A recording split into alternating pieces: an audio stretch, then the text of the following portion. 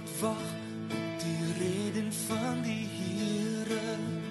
Vind rus in die skadu van die Heilige God.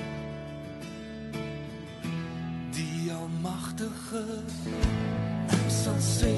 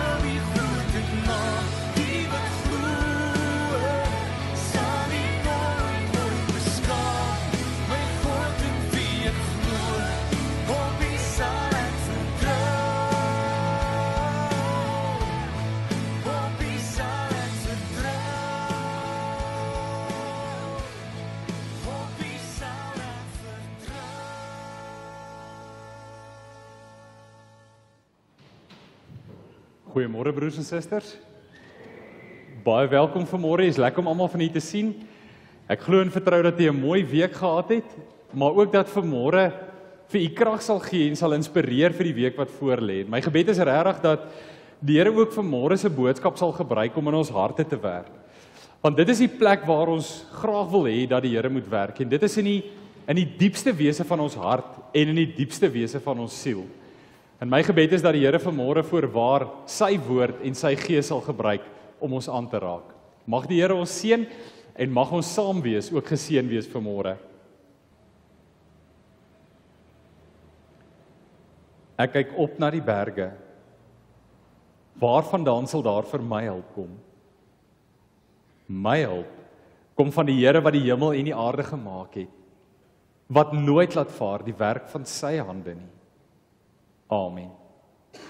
Broers en susters, die Here groet u vanmôre en hy sê vir u genade en vrede vir julle van God ons Vader deur die liefde van ons Here Jesus Christus en deur die gemeenskap van die Heilige Gees. Amen. Kom ons antwoord vanmôre deur te staan en te sing. Kom ons sing lied 197 en ek wil vra kom ons sing die eerste vers vir oggend. Lied 197, die eerste vers, Wonderbare Koning, heerser oor die skepping. Kom ons sing van hierdie grootheid van God. Kom ons raak bewus in wie se teenwoordigheid ons vanmôre verkeer. Lied 197 en ons sing daarvan die eerste vers.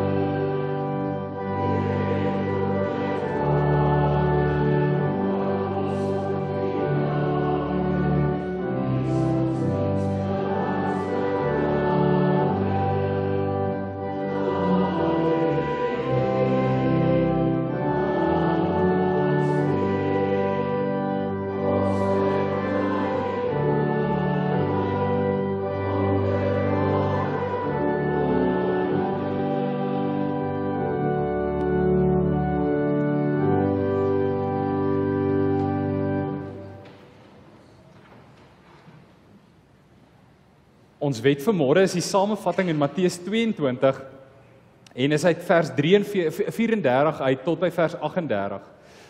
Nou broers en susters, dis belangrik vir môre weer dat ons die wet van die Here lees want elke keer is daar 'n manier hoe die wet van die Here koppel aan die preek vanoggend. Nou vanoggend kyk ons na 'n gedeelte in die Bybel wat ek weet nie hoeveel preke u al daaroor gehoor het nie, maar ek het gaan terugdink in my eie lewe toe ek 'n kind was en en voordat ek 'n predikant geword het en ek het gedink ek het eintlik nog nooit 'n preek oor hierdie gedeelte gelees nie. Ek het baie Bybelstories gelees oor Lot se vrou en ek het baie gelees al in my lewe oor Lot, maar ek kan nie dink dat ek in my lewe al ooit 'n preek gehoor het oor Lot se vrou nie. En ek wil hê ons moet vanmôre in dit wat ons ken en dit wat ons onthou van die verhaal van Lot, wil ek hê moet ons dit koppel aan die lees van die wet vanmôre. Want ons almal ken die verhaal van Lot se vrou. Ons ken almal die verhaal van hoe sy omgekyk het en toe in 'n soutpilaar verander het. En die vraag is hoekom? En ons almal weet wat die antwoord is. Dit was omdat sy ontrou was aan die Here en omdat sy ongehoorsaam was. En daarom wil ek vir jou vanmôre met hierdie vraag die wet van die Here lees. En die vraag is: Hoe getrou is jy aan die Here? Dit's maklik om na die verhaal van Lot te kyk. Dit's maklik om na sy vrou te kyk en vingers te wys en te sê maar dis omdat sy ongehoorsaam was en toe sy omkyk, toe verander sy in 'n soutpilaar nadat die Here vir haar gesê het moenie. My vraag is hoeveel keer sê die Here vir jou moenie? En as jy ver oggend jouself moet meet en vir jou 'n punt gee uit 10 uit. Hoe gehoorsaam is jy aan die Here? Hoe gehoorsaam is jy aan die wet en die opdragte van God?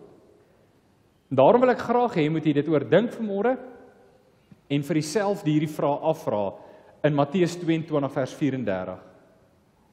Toe die Fariseërs hoor dat Jesus die Sadduseërs die mond gesnoer het, het hulle bymekaar gekom en een van hulle, 'n wetgeleerde het hom met 'n vraag probeer vastrek. Meneer vra hy: "Wat is die grootste gebod in die wet?" Met ander woorde, wat is die opdrag aan my? Jesus antwoord hom: "Jy moet die Here jou God lief hê met jou hele hart en met jou hele siel en met jou hele verstand." Dit is die grootste en die eerste gebod. En die tweede wat hiermee gelyk staan, jy moet jou naaste lief hê soos jouself. In hierdie twee gebooie is die hele wet en die profete saamgevat. Hoe gehoorsaam is jy aan God? Geen nou 'n paar oomblikke van stilte.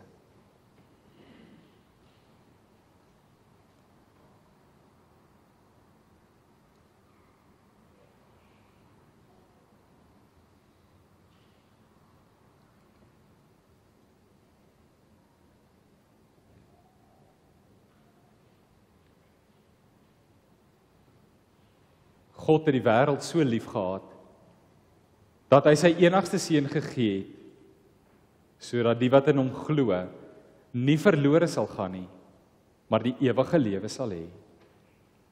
Amen. Terwyl ons so sit, wil ek vra broers en susters, kom ons sing lied 293. Die derde vers as 'n gebed vir môre. Kom ons sing dit vir môre ook in aansluiting by dit wat ons gaan lees. Jesus gee aan ons sy seun en aan hierdie sin lei ons op die regte pad. As ons vanmôre die wet van die Here gehoor het en ons is ernstig daaroor, dan moet ons vir die Here vra, lei ons op die regte pad. En hoe doen hy dit? Hy doen dit deur vir jou sy woord te gee en sy woord as wet. Dit is hoe jy op die regte pad bly deur dit te volg. En kom ons sit net so en ons sing as 'n gebed vanmôre ook as voorbereiding van die dienslied 293 die derde vers. Thank you.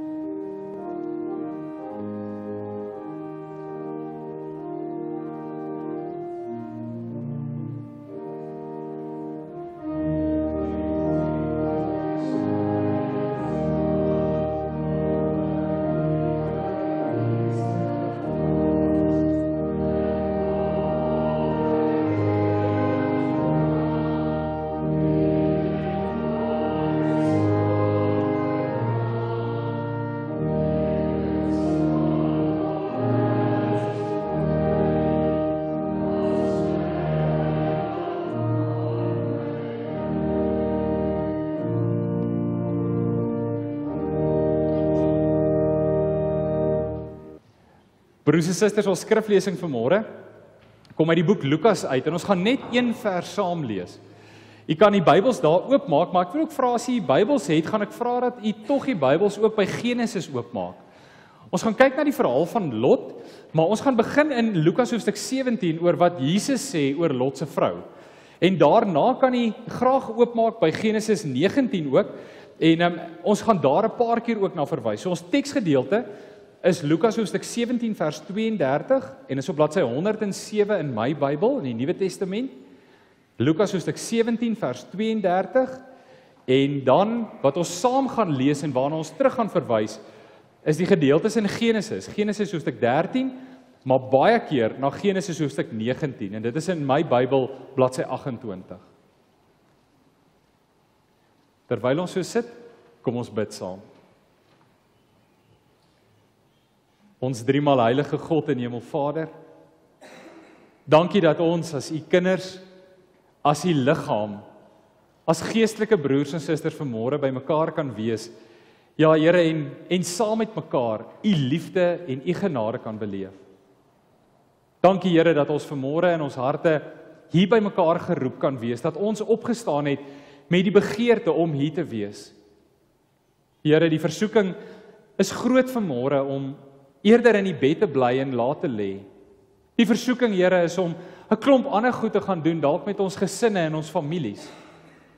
Maar Here, dankie dat ons vanmôre die roepstem gehoor het en so hard gehoor het in ons ore dat ons hier is vanmôre. Dat ons begeerte het om u stem te hoor wanneer u met ons praat. En Here, ek wil vra vanmôre, praat hard. Here, ek kan nie vir iemand anders vanmôre in hierdie kerk praat en bid nie behalwe vir my. As ek wil vra, Here, praat vanmôre hard met my. Partykeer het ek nodig, Here, dat U ook hard praat en nie net sag en paaiend nie. En ek wil vra vanmôre dat U met my sal hard en duidelik praat. Ek bid dit, Here, in Jesus se naam alleen. Amen. Ons skriflesing vir môre, een enkele vers uit die boek Lukas uit.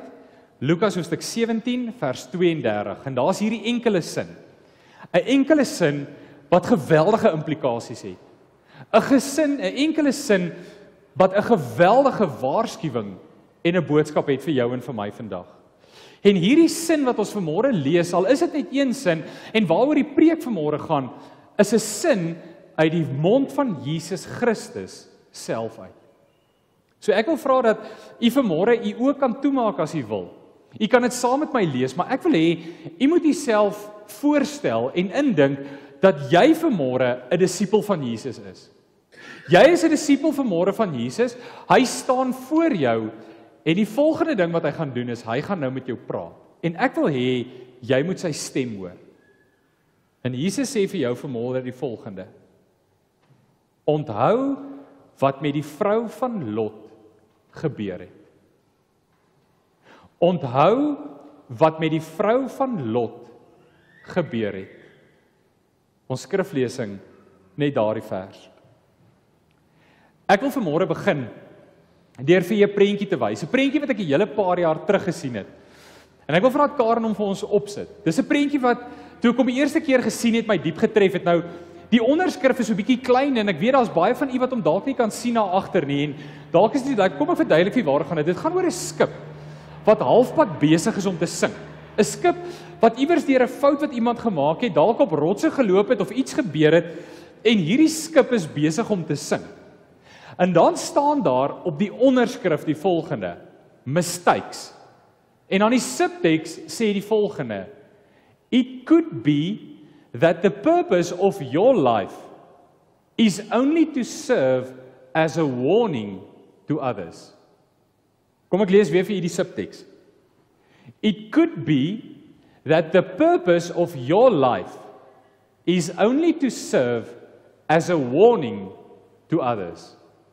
Nou ek moet vir sê toe ek die eerste keer hierdie foto sien, het ek dit nogal baie grappig gevind. Dit was vir my baie snaaks geweest om te dink dat dis eintlik so half humoristies ook in tong en die kies gesê dat iemand se lewe so vol foute kan wees dat eintlik die som totaal van sy lewe net is om te kan sê dit is hoe jy dit nie doen nie. Nou broers en susters, partykeer dink ek my lewe is so vol foute dat mense vir my kan sê dis dalk hoe jy nie die lewe moet doen nie. Maar ek dink ons almal ken sulke tipe mense. In my eie lewe ken ek mense wat so doelbewus destruktief in hulle lewe leef. Deur die een dwaase besluit na die volgende te neem en dit voel amper asof hulle in hierdie afwaartse spiraal is en net die een stupid ding na die ander stupid ding doen. Asof 'n mens wil sê maar vir jou kinders, hulle vat na hierdie mense toe en sê my kind kyk net. Dit is hoe jy nie behoort om jou lewe te leef nie. En dan is my gebed elke keer as ek daaraan dink en elke keer hieraan kyk, dan bid ek by myself en ek sê Here, mag dit gebeur dat daar nie op my grafsteen staan Rian van Sail die som totaal van sy lewe was net om 'n waarskuwing te wees vir ander hoe om dit nie te doen nie. Ek bid baie keer vir die Here en vra Here, wees my genade genoeg in my lewe dat wanneer die einde van my lewe aanbreek en daar 'n grafsteen vir my gekies moet word, op my grafsteen nie moet staan Rian van Sail Die som totaal van sy lewe was om 'n waarskuwing te wees vir ander hoe om dit nie te doen nie. Want hoe hartseer dit mag wees en hoe tragies dit mag wees, dit was die som totaal van Lot se vrou se lewe. Hoe hartseer dit mag wees broers en susters, as daar 'n grafsteen moes opgerig word vir Lot se vrou se se lewe en haar nalatenskap, dan sou dit gewees het Lot se vrou Die som totaal van haar lewe was om 'n waarskuwing te wees vir ander hoe om dit nie te doen nie. Want Jesus vat op die einde van haar lewe in 'n enkele sin die lewe van Lot se vrou se lewe saam deur 'n enkele sin eintlik as 'n kantaantekening in Lukas 17 as hy sê onthou wat met Lot se vrou gebeur het. En dan dink ek by myself as ek hierdie woorde lees. Hoe gebeur dit dat iemand hulle lewe so weggooi? Hoe gebeur dit dat iemand hulle Godgeskape doel so mis dat die nalatenskap van jou lewe 'n sin of 'n inskripsie op 'n grafsteen moet wees onthou wat met Lot se vrou gebeur het. Daar's 'n insident in my lewe wat ek persoonlik baie goed onthou. Ek was in my eerste jaar op universiteit en ek kan dit baie goed onthou. Dit was 'n naweek gewees wat ek by die huis kom kuier het. En vir baie lank in my lewe het ek al gewonder wat op bachelor's parties aangaan. Nou ek dink baie van die mans wat hier was, was al op bachelor's parties gewees. En ons weet dit is nogal rowwe goed, maar ek was in my hele lewe nog nooit op een nie. My vriende het nog nooit getrou nie en ek was nog nie by ouderdom nie en ek was nooit oud genoeg gewees nie. En toe ek hierdie naweek kom kuier, Toe besluit my pa, hy vat my saam na die eerste bachelor's party toe waarna hy toe uitgenooi word. En ek onthou dit baie goed. Ons het gegaan, ons het in Botawil gebly en daar was 'n saal gewees waarheen ons gegaan het en ek het ingekom en waar die deur oopmaak, het ek so agter die deur gaan sit. En terwyl ek so agter die deur sit en kyk wat hier aangaan en wag dat hierdie bachelor's party moet begin, kom daar 'n oom ingestap. En ek ken toe die oom baie goed. En toe hy so instap, onmiddellik met die intrapslag, begin hy so sommer al sommer al vloek. Hy begin die een vloekwoord na die ander vloekwoord inry. Dit is amper asof hy elke ou se hand wat hy skud, vloek hy sommer al klaar. En net om dit mooi momentum te gee, terwyl hy besig is om so te vloek, begin hy die een vuil grap wat barrer is as die ander een, begin hy so uitreig. Dit is amper asof hy dink dit is nou die plek waar jy bar grappe moet vertel. En ek onthou hoe my mond oop gehang het en ek eens geweet het waarvan hierdie ou praat nie. Die vloekwoorde wat hy gebruik het, het ek in my lewe nog nooit gehoor nie.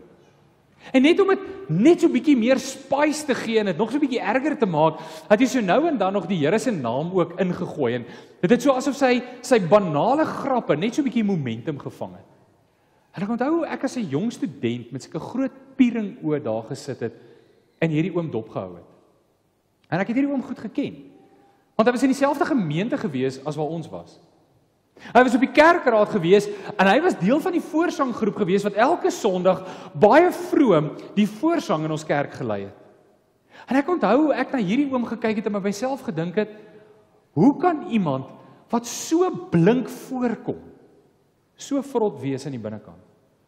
Hoe kan iemand wat op 'n Sondagoggend so mooi sing en so mooi praat en so mooi getuig, hoe kan sy mond so vuil wees? In die volgende oomblik, terwyl hy nog besig is met een van hierdie uitmuntende vuil grappe van hom, draai hy so om en hy sien my daar sit en ek sien hoe word hy so rooi in sy gesig van onder af. En onmiddellik voel hy skuldig. En onmiddellik vra hy toe om verskoning. En die eerste ding wat vir my ironies is, is hoekom vra hy vir my om verskoning? Ek's net 'n mens. Die Here is altyd daar. En hy voel toe baie sleg oor hierdie vuil grappe en taal wat hy gebruik. Maar ek onthou toe ek by myself dink, oom, die skade is gedoen. Niks wat jy sê gaan ooit weer maak dat ek jou anders gaan sien nie. En ek onthou ook by myself gedink het. Hoe kry 'n mens dit reg om jou naam so weg te gooi? Hoe kry jy dit reg om soveel minagting vir jou kunskap van God te toon? Hoe kry jy dit reg om jou God geskape doel so ver te mis? En dit is wat ons lees in die verhaal van Lot se vrou. Het jy al opgemerk dat in die hele Bybel van Genesis tot by Openbaring nie een keer gesê word in die Bybel wat Lot se vrou se naam is nie. Dis amper asof die Bybelskrywers haar naam uitgevee het uit die geskiedenisboeke uit. Dis amper asof sy so groot verleentheid was dat hulle haar naam doodgetrek het en al na hoe verwys word na Lot se vrou is presies so. Daar word net verwys na haar as Lot se vrou, 'n anonieme persoon. En elke keer as ek daaraan dink, dan dink ek by myself, hoe kry iemand dit reg om jou naam so weg te gooi dat jy hom skoon uit die Bybel uit weggooi? En daarom wil ek vanmôre vir jou 'n vraag vra. Ek wil vanmôre vir jou vra, hoe belangrik is jou naam, jou Christelike naam vir jou? Want jy sien Jesus vertel hierdie verhaal in 'n baie belangrike konteks. Jesus praat hier oor die wederkoms wat gaan plaasvind. Jesus praat hier van die dag wanneer hy weer gaan kom en hy gaan sy kinders kom haal. Jesus praat hier van daardie dag wanneer hy weer kom en hy sy kinders op die naam gaan roep en vir hulle sê kom saam met my die ewige lewe in. En my vraag aan jou is dit: As Jesus vandag weer moet kom, gaan hy jou naam uitroep? As Jesus vandag weer moet kom, gaan hy jou naam ken? As die wederkoms nou moet plaasvind, gaan jou naam in die boek van die lewe geskryf staan. En daarom is die waarskuwing vir môre. Daarom is die les vir môre dit. Wees versigtig hoe jy leef. Dat jy nie jou naam so weggooi dat jy jou naam uit die boek van die lewe weggooi nie. Wees versigtig hoe jy leef. Dat jy nie so leef dat jy jou naam uit die boek van die ewige lewe uitvee nie. En weggooi. Want jy sien die verhaal van Lot se vrou is 'n waarskuwing. Die verhaal van Lot se vrou en Jesus se woorde is 'n les vir môre vir jou en vir my. En ons moet vra, wat wil Jesus hê vir môre? Moet ek onthou van die lewe van Lot se vrou? Ons moet vanmôre vir ons baie ernstig vra, wat is wat die wat is dit wat Jesus Christus wil hê ek en jy vanmôre as les moet leer en as les en waarskuwing moet onthou van die lewe van die vrou van Lot. Die eerste ding is let op waar jy jou tent opslaan. Ons kan dit ook anders vertaal en sê let op waar jy en in watter rigting jy jou geestelike huis bou. Nou ons almal ken die onsse Vader gebed. Nou Jesus leer dit vir sy disippels, toe sy disippels vir hom vra, Here leer ons bid. Hulle sien dat daar 'n koneksie is tussen die manier waarop Jesus bid en die manier waarop hy leef. Die manier waarop hy bid bepaal hoe hy leef. En dan vra hulle vir hom, Here leer ons bid. En dan leer Jesus hulle die onsse Vader. Nou die 6ste bede in die onsse Vader gebed is die gebed wat vra, laat ons nie in versoeking kom nie. 'n Mens kan dit ook vertaal en sê, help ons om weg te vlug van versoeking af. 'n Mens kan dit ook vertaal en sê, help ons om die die versoeking in ons lewe te identifiseer en gee ons die krag om met lewe en dood daarvan weg te vlug in ons lewe. Nou daar is 'n boom in Indië. Nou ek is so, nie seker hoe spreek 'n mens die naam uit nie, maar hoe ek dit sal uitspreek is banyanboom. Nou dis 'n baie unieke boom. Ek weet nie van so 'n boom in Suid-Afrika as en iemand wat dalk so 'n boom ken in Suid-Afrika kan my later vertel daarvan. Maar daar's 'n boom in Indië. Die naam is 'n banyanboom. Nou wat hierdie boom uniek maak, is hy groei in ander bome. Wat gebeur is sy saadjie val baie keer op 'n ander boom se stam of op een van die takke van die boom of op 'n blaar en dan wat gebeur is hierdie saadjie begin ontkiem. En dan begin hierdie wortels onder die onder die bas van hierdie gasheerboom in beweeg. En dan as dit onder die bas ingaan, dan gaan dit in die stam in. En dan groei dit later totdat dit in die hart van hierdie gasheerboom ingaan. En dan onttrek dit met tyd soveel voedingswaarde van hierdie gasheerboom dat die gasheerboom vrek. Nou daar is 'n ou Indiese verhaal, 'n ou Indiese gelykenis wat vertel word van een van hierdie banyan saadjies wat eendag te lande gekom het in die mik van 'n palmboom. En dan vind toe 'n gesprek plaas en hierdie klein saadjie sê toe vir die palmboom: "Ek is moeg om deur die wind rondgewaai te word. Kan ek nie vir 'n rukkie hier in jou mik net veiligheid vind nie en rus en vrede?" En die palmboom sê toe enige tyd: "Daar is oor genoeg plek, bly so lank as wat jy wil." En na rukkie vergeet die palmboom toe van hierdie klein saadjie wat in hom lê, maar die saadjie is nie dormant nie. Stadig maar seker het hierdie saadjie begin wortels skiet en het die wortels begin groei eers onder die bas in van hierdie boom en toe in die stam in. En stadig maar seker het dit tot by die hart van hierdie palmboom begin groei. En toe dit so aan die hart van die palmboom begin raak, toe kom die palmboom agter maar hier's iets fout en hy sê toe: "Wie is jy en wat maak jy?" En die saadjie sê toe: "Dit is ek, die klein saadjie wat al baie lank in jou lê." En die palmboom sê toe vir hom: "Maar gaan weg van my af. Jy's besig om my dood te maak. Jy tap die lewe uit my uit." En die saadjie sê toe vir hom: "Maar ek kan nie. Ons het so vervleg geword dat as ek van jou moet loskeer, sal ons albei doodgaan." En die palmboom het toe alles probeer om hierdie saadjie los te skud, maar hy kon nie. En op die einde van die dag het die blare van die palmboom al breiner en breiner geword totdat hy gevrek het en dan niks van hom oorgebly het nie. Nou in Indië word hierdie storie, hierdie gelykenis vertel om te simboliseer wat versoeking aan jou doen.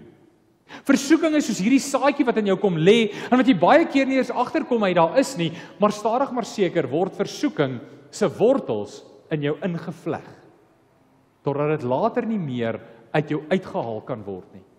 Totdat dit later so groot word dat dit jou doodmaak. Nou dit is wat gebeur in Lot se vrou se lewe. En dit gebeur op 'n baie interessante tyd en 'n interessante plek in Lot en in Lot se vrou se lewe. U moet gaan terugblaai en u kan dit gaan lees. Dit is in die hoofstuk Genesis hoofstuk 13. Wonderlike tyd in die geskiedenis van Israel. Abraham en Lot is swaars vir mekaar en hulle twee trek saam en dan kom daar 'n punt waar hulle uitmekaar uit moet gaan. En dan sê Abraham vir Lot: "Kies jy eerste waar jy wil gaan bly." En dan kyk Lot en hy sien hierdie pragtige stad Sodom en hy sê ons wil in daai rigting trek. En dan sê die Bybel 'n interessante ding. Hy sê en Lot het sy tent gaan opslaan naby Sodom. Nou ons almal weet later wat met Sodom gebeur het. Maar die interessante is hy sê hy het sy tent gaan opslaan naby Sodom. Maar die Engelse vertaling is eintlik beter. Die Engelse vertaling sê hy het sy tent opgeslaan in die rigting van Sodom. Met ander woorde, die hoofingang, die mond van die tent het in die rigting van Sodom gewys. Jy kan die prentjie vir jouself indink. Elke oggend en elke aand as Lot se vrou uit die tent uit gekom het, die eerste ding wat sy gesien het, is die stad Sodom. Die saadjie is geplant. En dit is daar waar haar geloofs agteruitgaan begin het. Dit is op daardie punt toe sy besluit sy en haar man Lot om hulle tent in die rigting van Sodom op te slaan, dat stadig maar seker hulle geloofs agteruitgang begin het en verseker is. Want jy kan nie jou tent opslaan in die rigting van Sodom en onaangeraak wees nie. En weet jy wat die ergste? Hulle weet presies wat in die stad Sodom aangaan. Dis nie dat hulle blindelings dit doen nie. Die Bybel sê die inwoners van Sodom was almal sleg. En hulle het dinge gedoen wat baie verkeerd was teen die Here. So lot hulle weet waarvoor hulle hulle inlaat. En nou wil ek vir jou 'n vraag vra.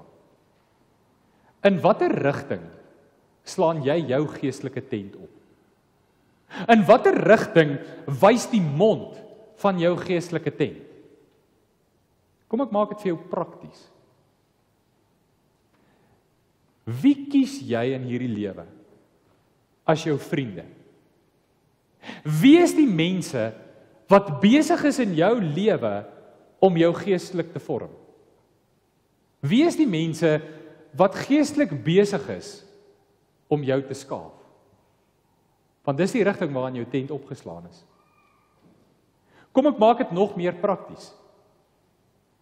Wat kyk jy op jou selfoon of op jou rekenaar wanneer jy alleen is? Vir wie WhatsApp jy of Facebook jy of Messenger jy wanneer jy alleen is en jy dit moet uitvee sodat jou man of jou vrou dit nie sien nie. In watter rigting slaan jy jou tent op? Dis nie onskuldig nie broers en susters. Moenie vir een oomblik dink dat die duiwel jou gaan laat loskom met hierdie tipe goed nie. Kom ek vra jou nog 'n vraag. Hoeveel drankies in die aand moet jy drink? Hoeveel glase wyn? Hoeveel glase gin? Hoeveel glase bier of iets sterkers moet jy elke liewe aand in jou lewe drink om die edge af te haal? In watter rigting is jy besig om jou geestelike tent op te slaan? In watter rigting kyk jy? Want dit is die vraag. Dit is presies waar Lot se vrou se geestelike agteruitgang begin plaasvind het. Dit is presies waar sy begin backslide het in haar lewe toe sy openlik begin flankeer het met Sodom. En dan kom die vraag natuurlik, in watter rigting moet jy jou tent opslaan? In watter rigting moet jy kyk? Nou in die week het ek 'n 'n WhatsApp boodskap gekry van van Dr. Ewert en nie almal ken hom. Hy lei baie keer die voorsang hier vir ons. Hy's ons voorsangleier. Hy het vir my een van die ongelooflikste video's gestuur en omdat hy weet dat ek geweldig van van van statistieke hou en van navorsing, het hy hierdie SMS gestuur en dit gaan oor 'n stuk navorsing wat gedoen is deur die Center for Bible Engagement. Nou wat hulle doen is, hulle doen navorsing om te kyk wat is die invloed wat die Bybel op mense se lewens het. En hulle doen toe 'n spesifieke studie van meer as 40000 mense tussen die ouderdom van 8 jaar en 80 jaar. Dis die dis die groep wat hulle toe toets en hulle wil toe kyk wat is die effek wat die Bybel het op mense se lewens en hoe hulle leef. Hoeveel keer jy 'n week met die Bybel te doen kry, hoeveel keer jy die Bybel lees en wat die effek daarvan op jou lewe is. En hulle gaan kyk hoe die eerste ding is as jy een keer 'n week kontak het met die Bybel. Kom ons sê jy kom net een keer 'n week kerk toe. Wat is die invloed wat die Bybel, die woord van God op jou lewe gaan hê? Hulle sê toe die navorsing wys, As jy een keer 'n week 'n invloed op die Bybel, 'n een keer kontak het met die Bybel in jou lewe, een keer 'n week, dan is die invloed op jou lewe weglaatbaar klein. Feitelik zero. Hulle vra toe en wat gebeur as jy as jy twee keer 'n week met die Bybel te doen het? En hulle vind toe die effek is weglaatbaar klein. Feitelik niks. Hulle vra toe as jy 3 keer 'n week met die Bybel te doen het, toe sê hulle daar kom so so spike. Dit lyk amper soos 'n hartklop as jy na 'n EKG masjien kyk. Dit maak net so blip. Soos marginaal klein maar 3 keer in 'n week begin al iets wys. En sê hulle maar wat gebeur as jy 4 keer 'n week die Bybel lees? 4 keer met die Bybel te doen kry. Toe vind hulle dat daar 'n astronomiese effek op mense se lewens is. Die manier waarop die Bybel jou lewe beïnvloed, is astronomiese stygings as jy 4 keer 'n week met die Bybel te doen kry. Nou die interessante is oor wat gebeur. Nou mense amper verwag dit moet seker trappies wees, een keer, twee keer, drie keer, maar dit bly redelik geleidelik tot jy 4 keer met die Bybel te doen kry en dan styg hy op. Nou die interessante is hier's die navorsing. Waarop het dit 'n invloed gehad? Mense wat 4 keer of meer 'n week met die Bybel te doen gehad het, het 'n 30% afname getoon in mense wat eensaam voel. 30% mense het minder eensaam gevoel. Woede en aggressie het met 32% afgeneem. Bitterheid in verhoudings en veral in huwelike het met 40% afgeneem. Alkoholisme 57%. Mense wat gevoel het dat hulle geloofslewe gestagneer het, het afgeneem met 60% en mense wat pornografie kyk, het met 61% afgeneem. Positiewe. Mense wat vrywillig en spontaan begin getuig het oor hulle geloof, het met 200% gestyg. Mense wat ander tot bekering gebring het, 230% stygings. In watter rigting slaan jy jou tent op? In die rigting van Sodom of in die rigting van God se woord? Want die kant toe waar jou tent se mond teen wys, gaan bepaal waar in jou lewe gaan wandel. En daarom is die eerste punt vir môre. As Jesus sê onthou wat met die vrou van Lot gebeur het. Is my vraag aan jou. In watter rigting slaan jy jou tent op? Daar's 'n tweede punt. Wat en wie vat jy saam met jou waarheen? Nou, ek onthou iemand het eendag vir ons gevra vir my en vir het as jou huis aan die brand raak, wat is die eerste ding wat jy red? As jy 'n kans het om iets te red, as jou huis aan die brand raak, wat is die eerste ding wat jy sal gryp en sal uithardloop? En ek en Red het baie aande daaroor gepraat en ons het gevra wat sal ons red? En ons het op die einde van die dag agtergekom, die eerste ding wat ons sal gryp is ons fotoalbums. Nou ek weet baie mense het vandag foto's op hulle selfone en jy sê jou selfoon gryp, maar ons het baie foto's wat uit die ou dae uitkom voor ons nog selfone gehad het wat ons in in albums het. En ons het gesê ons sal ons albums eers gryp. En toe ons later weer mooi daaroor dink, het ons gedink nee, daar's iets anders wat ons eers sal vat en dit is ons kinders.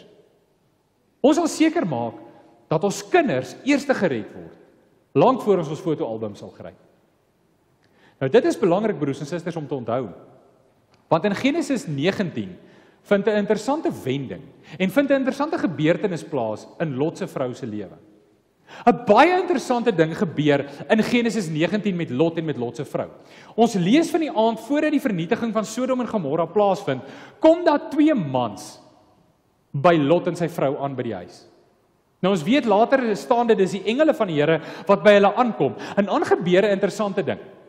Hierdie twee engele vertel vir Lot wat die volgende dag met Sodom en Gomorra gaan gebeur. Hulle sê vir hom Lot, hierdie stad gaan vernietig word. En dan vra hulle vir hom, "Wie in die stad ken jy nog? Wie is nog familie van jou?" En dan doen Job 'n vreemde ding en ek wonder hoeveel ouers dit sal doen. Maar Job gaan na sy aanstaande skoonseuns toe. Dis die enigste twee mense buite in sy gesin na wie toe hy gaan in die stad Sodom. Hy gaan na sy skoonseuns toe en hy sê vir hulle, ek het nou net die tyding gekry, Sodom gaan môre verwoes word. En weet jy wat doen sy skoonseuns? Hulle lag vir hom. Hulle staan, dit staan daar, sy skoonseuns het hom nie geglo nie, want hulle het gedink dat Job, ag Lot 'n grap maak met hulle. Jy sien, dis wesenlik daardie sin. Want jy sien daardie sin openbaar en getuig in watter toestand Lot se geestelike lewe was. Jy sien daardie enkele sin verklap dat Lot se geestelike lewe so afgewater geraak het dat sy woorde nie meer gesag gedra het nie en dat dit geen waarde meer gehad het nie. Dit getuig daarvan dat Lot en Lot se vrou se geestelike lewe so agteruit gegaan het, so verwater het dat toe hy sy eie skoonseuns waarsku, hulle gedink het hy maak 'n grap. Want jy sien die interessante is toe die twee mans, die twee engele by Lot kom, waar vind hulle hom? Hulle vind hom by die poort van Sodom. Let baie mooi op wat gebeur. In die vorige punt het ons mekaar gesê Lot en sy vrou het hulle huis gaan opslaan in die rigting van Sodom. Hier in die volgende paar hoofstukke lees ons nou bly hulle ewe skielik in Sodom. Want jy sien dis hoe versoeking werk. Jy begin buite en dan sit een tree nader en een tree nader en volgende oomblik bly jy binne in Sodom. Maar die interessante is, dit is die leiers van 'n stad wat by die stadspoorte gesit het. Lot is nie net 'n inwoner van Sodom nie, Hy is 'n leier van die stad. Kan nie dink hoe lekker het mevrou Lot die mense van Sodom entertain in haar huis. Kan nie dink aan die funksies en die partytjies wat sy baie blydskap mee gehad het om dit te hou in haar huis om die ander leiers van die dorp welkom te heet. En jy sien die feit dat Lot 'n leier is, beteken twee dinge. Hy het goedgunstig dit wat in die stad gebeur het goedgekeur of hy self daaraan deelgeneem. Hy en sy vrou. Dit is waarom sy skoonseuns hom nie ernstig opneem nie. Dit is waarom sy geloofsgetuienis verwater broers en susters. En jy weet, as gevolg van sy lewe en as gevolg van hulle lewe, eh, Lot en sy vrou, verwater dit so dat dit 'n invloed het op sy kinders, dat sy kinders mans kies wat vir hulle skoonpa zero respek het. Dis wat gebeur omdat Lot se geloofslewe verwater. Sy kinders trou met mans wat zero respek het vir hulle skoonpa. Maar dan gebeur die skokkende ding. En dit is die vraag van die tweede punt. Wie vat jy saam? Gaan lees in Genesis 19. Die oggend toe Lot hulle opstaan, Toe sê die engele vir hulle: "Vlug vir julle lewens en moenie omkyk nie." Nou ek kan my hierdie prentjie indink. Ek kan hierdie donker wolke wat al so rooi blits van die vuur wat uit die hemel uit gaan neerreën op Sodom en Gomorra is al reeds saamgepak bo Sodom. So lot hulle sien al hierdie oordeel van God wat saamgepak is oor die stad. En dan sê hierdie engele vir hulle: "Vlug vir julle lewens en moenie omkyk nie." En dan lees ons hierdie skokkende sin. Lot en sy vrou het getalm. Hulle was nie haastig nie. Hulle het getalm. En dan die sin wat my wat wat wat voel wat my brein wil laat ontplof. Dan lees ons wie vat wie se hand toe hulle vlug. Die engele het die hand gevat van Lot en Lot se vrou en sy dogters. Laat die sin insink. Die engele het die hand gevat van Lot en Lot se vrou en Lot se kinders. En as dit insink in jy klik wat hier gebeur, dan besef jy hoe walglik dit is. Lot en sy vrou was baie vinnig om die hande van hulle kinders te vat en Sodom toe te lei. Maar hulle was nie bereid om die hand van hulle kinders te vat en hulle na veiligheid toe te lei nie. Die engele vat hulle hande. Lot en sy vrou laat die redding van hulle kinders aan die hande van engele oor. Hulle is self nie bereid om die hande van hulle dogters te vat en hulle na veiligheid toe te lei nie. Hulle was baie vinnig om hulle kinders Sodom toe te vat en hulle die lewe in Sodom te gaan leer en hulle die lewe van Sodom te gaan wys en saam met hulle daar te gaan bly. Maar die oomblik toe dit oor hulle redding gaan, was dit nie Lot en sy vrou wat die hand van hulle kinders gevat het om hulle na redding en na veiligheid toe te lei nie vir my skokkend. Die laaste punt. Vlug vir jou lewe en moenie omkyk nie. Toe ek klein was, ons het tot omtrent in die tweede kwartaal um, van se B, die ou die vandag se graad 2, het ons in 'n klein dorpie gebly genaamd Tenison. En daar's 'n insident wat ek onthou, ek moes in graad 1 gewees het. 'n Insident wat tot vandag toe nog in my lewe soos 'n paal bo water staan en elke keer as ek daaraan dink, dan kry ek weer so glimlag op my gesig. Dit was 'n oujaarsaand en ons het by mense gaan kuier op 'n plaas wat vriende was van ons net buitekant tennis in. En hulle het 'n seun gehad wat 2 jaar ouer as ek was. Nou my boetie was 2 jaar oud en hulle twee was klasmaats en hulle was groot pelle. Maar hulle was hengstout. In die aand, oujaarsaand, toe dit so skemer word, hierdie mense het so 'n gaansboerderytjie aan die kant gehad, hierdie boere. En my boetie en hierdie ouetjie besluit toe, hulle gaan die gaanse terg en dan gaan hulle weghardloop vir hierdie gaanse.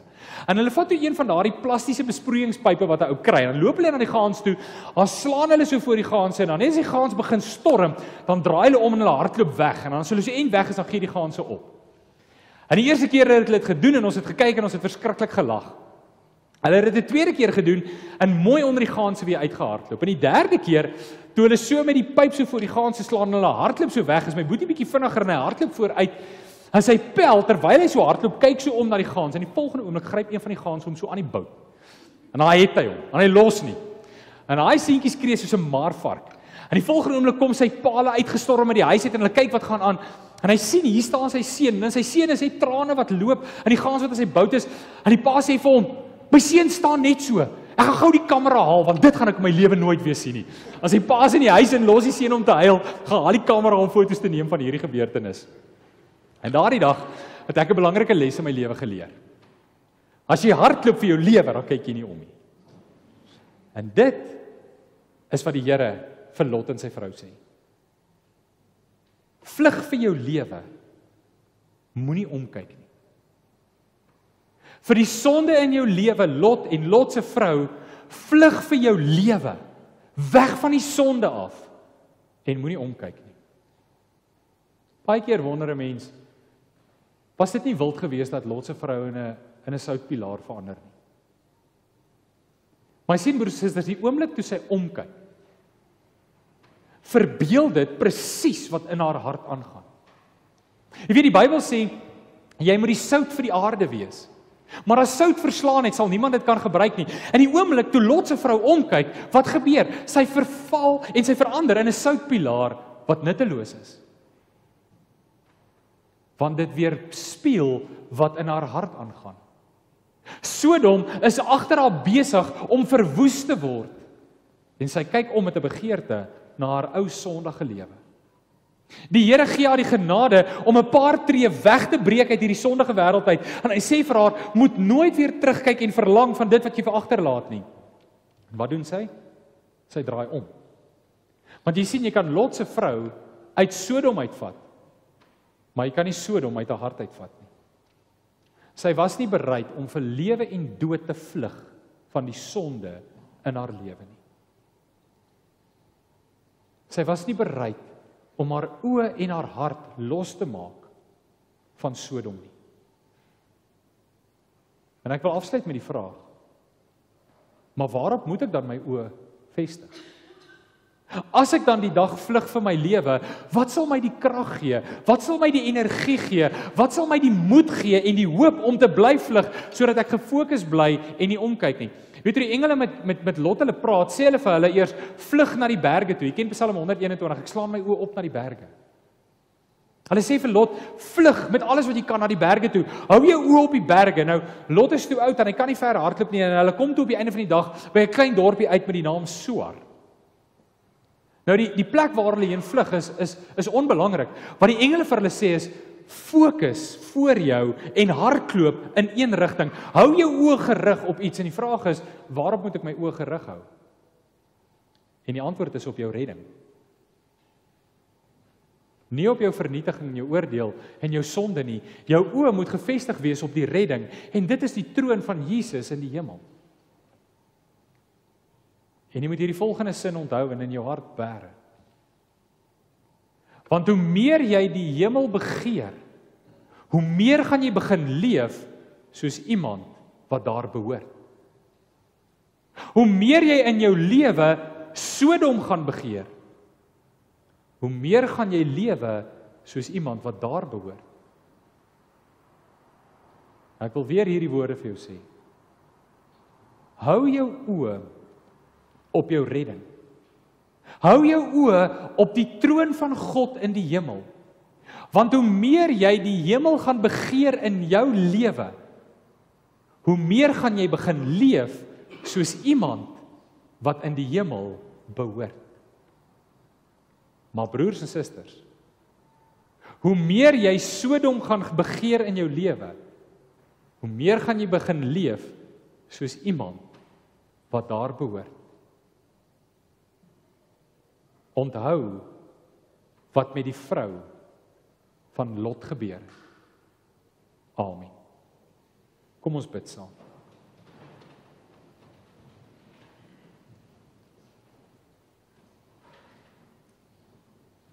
Here God, daar is 'n liedjie wat ek onthou uit my kinderdae uit. Vergeet om my te vergeet. Onthou om te onthou om my te onthou. En Here, vandag as ek hierdie verhaal lees van Lot se vrou, dan wil ek vra, onthou my om te onthou om U te onthou. Onthou my te om te onthou wat met Lot se vrou gebeur het. Here, en help my vanmôre om die krag te hê om die versoeking en ook die sonde in my lewe te kan raak sien. En met lewe en dood daarvan weg te vlug. Want dit is 'n saak van lewe en dood. Here, versterk ons vandag in U naam alleen. Amen. Broers en susters, kom ons sluit vanmôre af met Lied 396. En ons gaan sing daarvan vers 1 en vers 2. En hierdie woorde sê en ek wil vra dat dit u gebed sal wees vanmôre, dat dit vir u 'n herinnering sal wees aan die preek vanmôre en as u uitgaan en u ry huis toe, sing hierdie lied in die hart. Sing hierdie eerste vers in die hart. Sing hierdie eerste hierdie eerste lyntjie in die hart, want dit is waarna jy moet kyk. As jy van die sonde wil wegvlug in jou lewe, is daar net een plek waarheen jy kan kyk. Aanskou die heiland aan die kruis. Die hemelvors verag verguis. Vir my het hy hom daar laat hang. Ek leef en sterf. Hy leef en sterf in my belang. Dan die laaste sin in so 'n redder kan ek roem. As jy vanmôre die opdrag van die Here kry.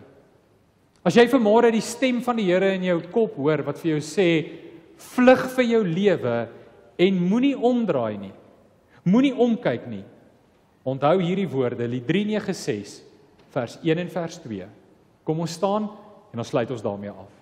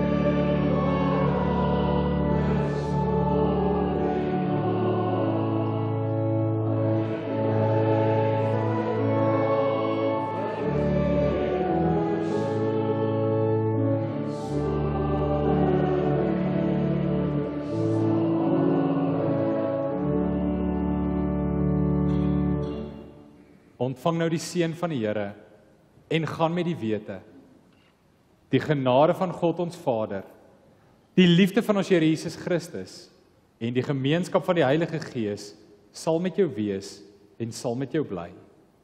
Amen.